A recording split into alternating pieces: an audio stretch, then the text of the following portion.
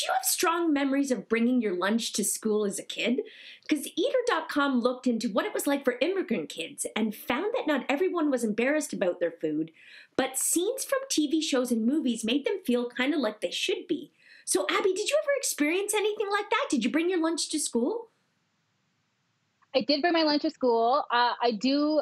I to be honest, I read the article and I was like, oh yeah, like I don't know if I felt any like shame or like embarrassment from the lunches I had, but I also did a really good job of begging my mom for like, you know, sometimes my dad would bring me McDonald's and I was like the cool kid in class.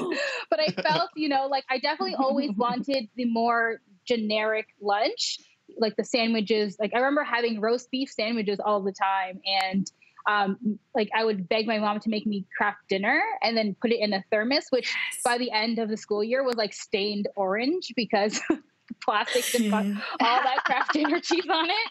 But I mean, yeah, I don't, I personally didn't get, you know, ridiculed for bringing anything ethnic to school when I did.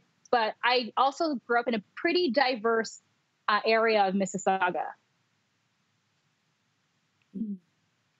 Stefan, what about you? Yeah, no, I uh, have a similar experience as Abby. I grew up in a very diverse neighborhood here in the nation's capital. And what I find of kind of noticed is that there was a little bit of a hierarchy when it came to lunches. Um, you know, Francesco would come with his thermos and had the ultimate Italian mother, and it was always like, "Ooh, what's Franco got today? Buffalo wings, hot dog stuff in there, you know, meatballs." And it's like, wow, you know, I kept it pretty basic myself because I'm a simple guy. I'm good with PB and J. But then my Somali brothers and sisters would come with their samosas or, you know, even a Nutella sandwich. And you kind of get people looking like, oh, well, what's that? I'm not used to that scent. Or why is your peanut butter so dark? and now we know that Nutella is like a gourmet item that you can gift at Christmas, and everyone's fallen in love with this hazelnut spread. So there has been a little bit of a hierarchy. And I, I also remember the cool kids, because again, very diverse. If they're Cambodian or Vietnamese or Chinese, with a single use ramen noodle packs. And I remember telling my mom, I need this. I need this to take yeah. this onto the schoolyard at recess. And she's like, okay, do you do you want me to cook it for you? And I was like, no, we eat it raw. We just smush them up and we just eat it raw. And she's like, okay.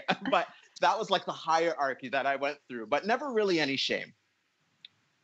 Can I squeeze I in a comment I, I, from um, from Jacqueline on Facebook? She says, "I'm Chilean Canadian and was made fun of for my avocado sandwiches at school, so I can relate. Same thing happened to my daughter, but now avocados are apparently trendy. I guess we were ahead of the time. Still eat avocado toast almost daily for lunch. I love that. Thank you for sharing, Jacqueline. That's adorable. What goes around comes around. Funny enough." Yeah.